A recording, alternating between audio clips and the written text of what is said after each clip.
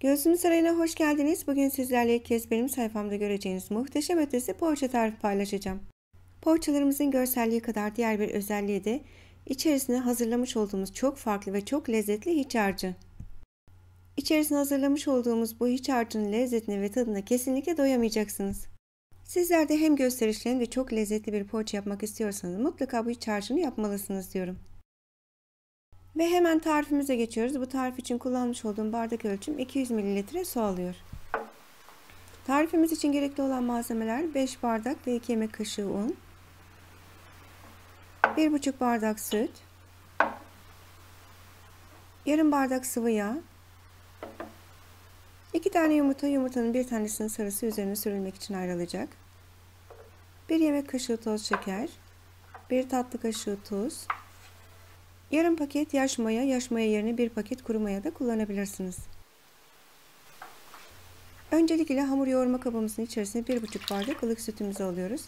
Hamurumuzun güzel kabarması için mutlaka sütümüz ılık olması gerekiyor. Bir yemek kaşığı toz şeker. Yarım paket yaş mayayı içerisine ufalıyoruz. Dediğim gibi yaş maya yerine kuru maya da kullanabilirsiniz. Kuru maya kullanacaksanız bir paket kullanmanız gerekiyor. Güzelce çırpıyoruz.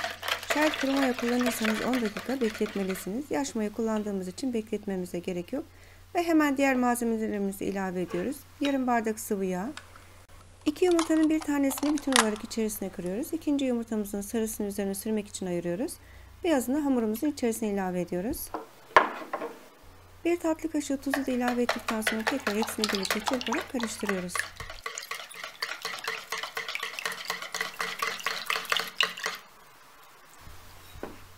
Unumuzun ilk etapta yarısını ilave edip çırpma teliyle karıştırmaya devam ediyoruz.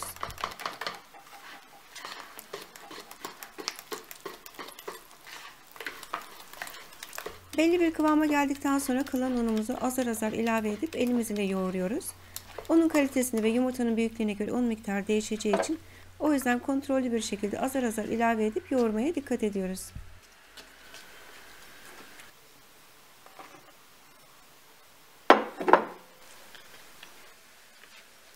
Mayalı hamur olduğu için 1-2 dakika yoğurduğumuzda hamurumuz hemen toparlanacaktır. Hamurumuz toparlanmaya başladığı zaman hamurumuz olmuş demektir. Çok da fazla yoğurmamıza gerek yok. Hava almayacak bir şekilde üzerine streç ile veya da varsa kapağı ile sıkı bir şekilde kapatıyoruz. Daha sonra üzerine kalın bir bez sararaktan oda sıcaklığında yaklaşık 45 dakika bekletiyoruz. Hamurumuz beklerken bu arada iç harcını hazırlıyoruz. İç harcı için 2 yemek kaşığı salça, 4 diş sarımsak, 100 gram krem peyniri. Krem peynirinizin markası önemli değil. Herhangi bir krem peyniri kullanabilirsiniz. Salça olaraktan da ben acı biber salçası kullandım. Sizlere de tavsiyem acı biber salçası kullanmanızdır. Fakat acı sevmiyorsanız tatlı biber salçası da kullanabilirsiniz. Kullanmış olduğum krem peyniri ve salçam tuzsuz olduğu için ben içerisine tuz da ilave ediyorum. Şayet sizin de krem peyniri tuzsuzsa mutlaka tuz ilave edin. Karabiber, kırmızı toz biber, 4 yemek kaşığı mutlaka sıvı yağ ilave ediyoruz. Sıvı yağ hem lezzetine lezzet katacaktır hem de pişerken poğaçalarımızın yumuşak olmasını sağlayacaktır. Sıvı yağı da ilave ettikten sonra hepsini birlikte güzelce karıştırıyoruz.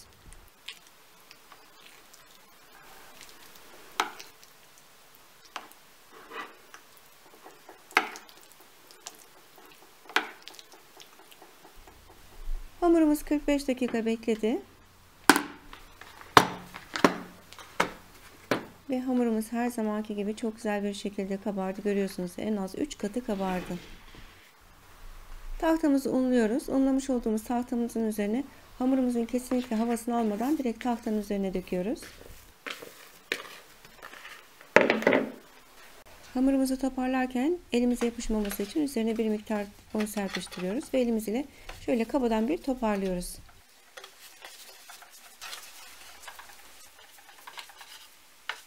Dört eşit parçaya kesiyoruz.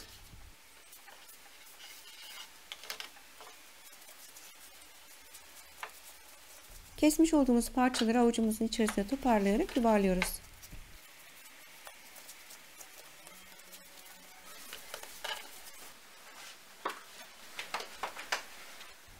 Tahtamıza tekrar un serpiştiriyoruz. Yuvarlamış olduğumuz parçaların bir tanesini alıyoruz. Üzerine mutlaka un serpiştirdikten sonra merdane ile açıyoruz. Hamurlarımı açtıktan sonra ölçmedim fakat göz kararıyla şöyle yaklaşık çapı 30 santim genişliğinde açtım. Açmış olduğumuz yufkayı yağlı kağıdın üzerine alıyoruz.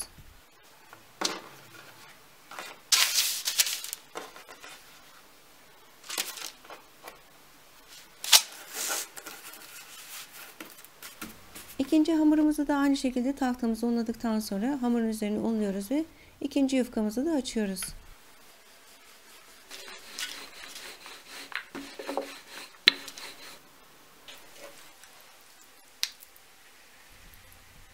Hazırlamış olduğumuz salçalı ve krem peynirli iç harcımızı yufkamızın üzerine sürüyoruz.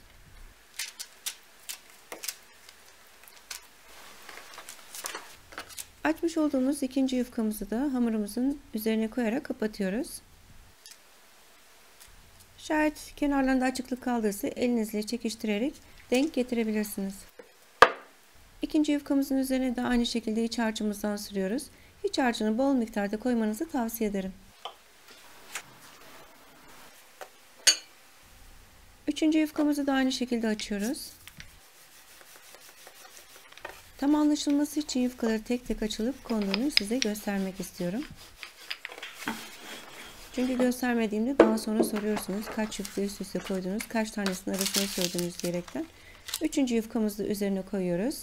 Birinci ve ikinci yufkanın üzerine iç harcımızdan sürdük. Fakat üçüncü yufkamızın üzerine kesinlikle sürmüyoruz. Dördüncü yufkamızı diğer açmış olduğumuz yufkaların büyüklüğünden yaklaşık çapı 2 santim daha az olmasını sizlere tavsiye ederim. Mesela ilk yufkalarımızı 30'ar santim açtırsaydık en son yufkamızı 28 santim açmalıyız. Tam yuvarlak olması için ben bir tane tava kapağı kullandım. Tava kapağının üzerine koyarak iz yaptım ve fazla olan kenarları keserek çıkardım.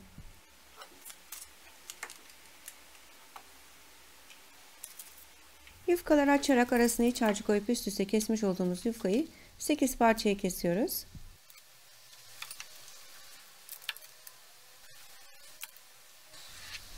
Açıp da üzerine koymamış olduğumuz dördüncü yufkamızı da aynı şekilde 8 parçaya kesiyoruz. Hepsini birbirinden ayırdıktan sonra gördüğünüz şekilde kenarlarını kesiyoruz. Ortasında yaklaşık 2,5-3 santim uzunluğunda kesiyoruz.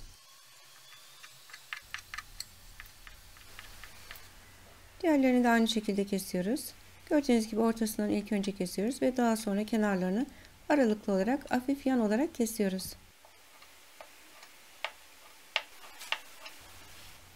Diğer parçalarımızın hepsini aynı şekilde kesiyoruz. Kesmiş olduğumuz bu parçaları iki elimize alıyoruz. Elimiz ile hafif uzatıyoruz. Çünkü biliyorsunuz bunları diğer yufkamızdan biraz daha dar olarak kesmiştik. O yüzden hafif uzatıyoruz ve öylelikle yufkalarımızın üzerine koyuyoruz. Hafif çekmemizin sebebi kesmiş olduğumuz o parçaların biraz ayrılması ve üzerine şeklini tam olarak vermesidir. Diğer kesmiş olduğumuz bütün parçaları aynı şekilde iki elimize alıyoruz. Hafif ucundan çekerek uzatıyoruz ve üzerine diziyoruz.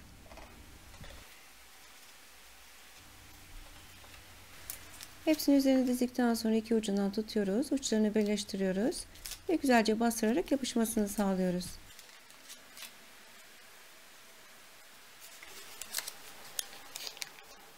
Şöyle yakından bir daha göstermek istiyorum. Gördüğünüz gibi iki ucundan tutuyoruz. Alta doğru kıvırıyoruz.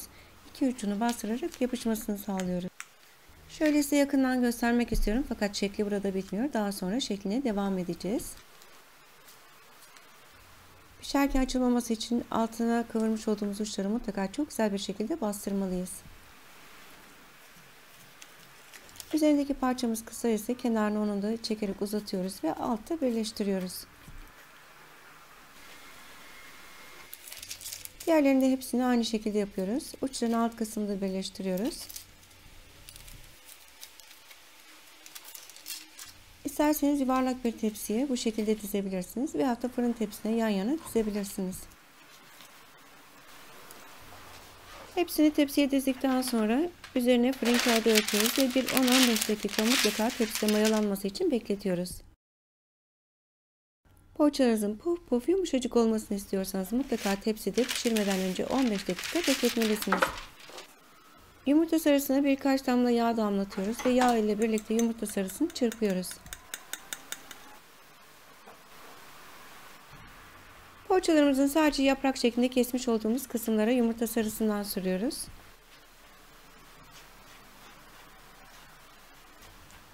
Tek yaprak şeklinde kesmiş olduğumuz kısımlara ve arka kısımlarına sürdüm. Sizler isterseniz her yerine de sürebilirsiniz. Ortasından kesmiş olduğumuz kısımlara çörek otu serpiştiriyoruz.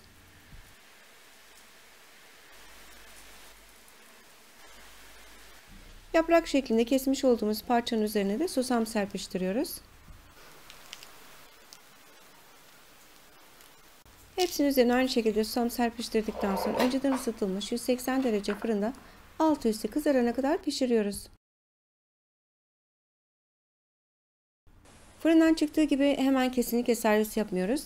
Poğaçalarımızın üzerine temiz bir bez örtüyoruz ve bir 10 dakika daha bekletiyoruz. Yumuşacık ve çok lezzetli poğaça olması için mutlaka 10 dakika temiz bir bez örterek bekletmeliyiz. Şöyle poğaçamızı size yakından göstermek istiyorum. Poğaçamızın altı da üstü de aynı ayarda pişti ve aynı şekilde kızardı. Poğaçalarımız piştikten sonra nasıl da güzel görünüyorlar. Şöyle baktığınız zaman hayran kalmamak mümkün değil. Servis tepsine dilediğiniz şekilde dizebilirsiniz. Şöyle size tekrar yakından göstererek paylaşmak istiyorum. Poğaçalarımız o kadar güzel oldu ki insan baktıkça bakası geliyor. Şöyle bir de dokunarak size ne kadar yumuşak olduğunu göstermek istiyorum. Poğaçalarımızı görüyorsunuz. Puf puf oldular. Şöyle kopararak bir de iç kısmını görelim. Kopardığınız zaman da poğaçalarımız böyle kat kat ve arasındaki sürmüş olduğumuz salçayla inanılmaz lezzetli görünüyor. Arasına sürmüş olduğumuz salçalı sosumuz arasında ne kadar güzel görünüyor. Ve şöyle size açarak içerisini tamamen göstermek istiyorum. Poğaçalarımızın içerisi püskül püskül oldu. Ve tekrar şöyle kopararak sizlerle paylaşmak istiyorum. İçerisi ne kadar da harika görünüyor. Şöyle bastırdığınızda yumuşaklığı aynı sünger gibi hissedebiliyorsunuz.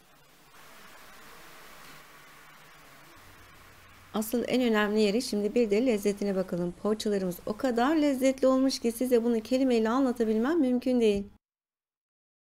Sizlere de bu iç harcını mutlaka yapmanızı tavsiye ediyorum. Farklı poğaçalarda da bu iç harcını kullanabilirsiniz.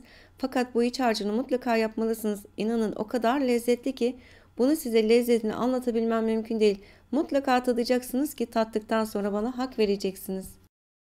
Şundan eminim ki bu iç harcını yapıp da bu poğaçaların tadına ve lezzetine baktıktan sonra tadını alacaksınız ve diğer poğaçalarımızda da mutlaka bu iç harcını yapacaksınız diyorum. Muhakkak denemelisiniz ve deneyecek olanlara şimdiden afiyet olsun. Yeni göndereceğim video tarifleri kaçırmak istemiyorsanız ve anında haberdar olmak istiyorsanız YouTube sayfam Gözüm Sarayı'na abone olduktan sonra mutlaka bildirim zilinin sesini açmayı unutmayınız. Kalbinizden sevgi, ağzınızdan tat, mutfağınızın bereketi hiç eksik olmasın. Yeni tariflerde görüşmek üzere. Sevdiklerinize sevgiyle hoşçakalın.